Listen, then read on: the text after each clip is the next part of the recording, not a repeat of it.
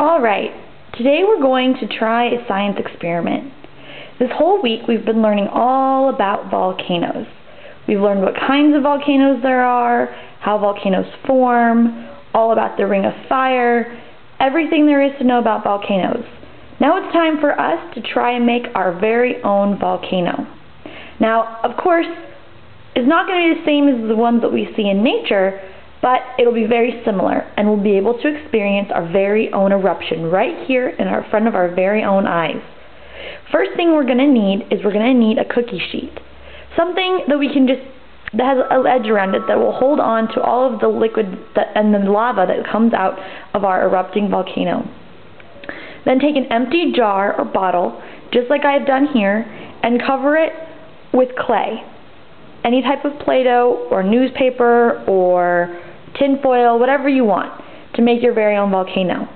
Now, you can make it any kind of volcano you want. It can be any of the types that we've already discussed. What kind of a volcano do I have here? It has sloping sides, a big round top, nice open round top there, the caldera, the sloping sides of our volcano. What kind of volcano do you think this is? Go ahead and make your very own volcano. Try and identify all the different parts. You can even put trees or little places where the lava can flow down if you'd like to. Once you've completed that and you've identified what type of volcano it is, we're going to go ahead and get ready for our eruption. Two ingredients that we need. We need baking soda and we need vinegar. We're going to take a few scoops of our baking soda. We're going to go ahead and put them right down on inside our volcano.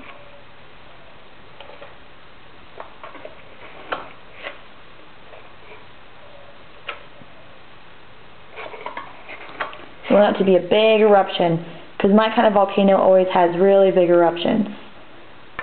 Okay, now we're going to take about one cup of our vinegar. We're going to pour our vinegar in here and we're going to see what happens.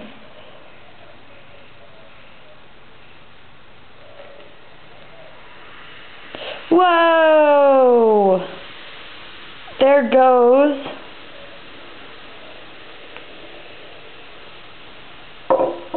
our volcano. Now let's talk a little bit about what makes this happen. Baking soda and vinegar, when it's combined, causes a chemical reaction. It releases carbon dioxide.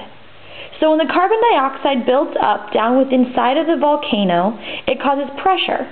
That pressure is what makes all of that magma and debris and ash and gas come up down from inside of the volcano's core all the way up and out to release that pressure. Then of course, once the magma is released, hits the atmosphere, it flows down the sides of the volcano and out here, becoming lava. Once the lava dries, just as we've learned, do you remember what that hap what happens then? Exactly, a volcano is formed. Now you can do all kinds of cool different experiments with this volcano. Why don't we try why don't you try making your very own volcano and maybe putting some debris in there and see if the pr pressure you create is strong enough to shoot the, that debris out of, the, out of your volcano. Have lots of fun.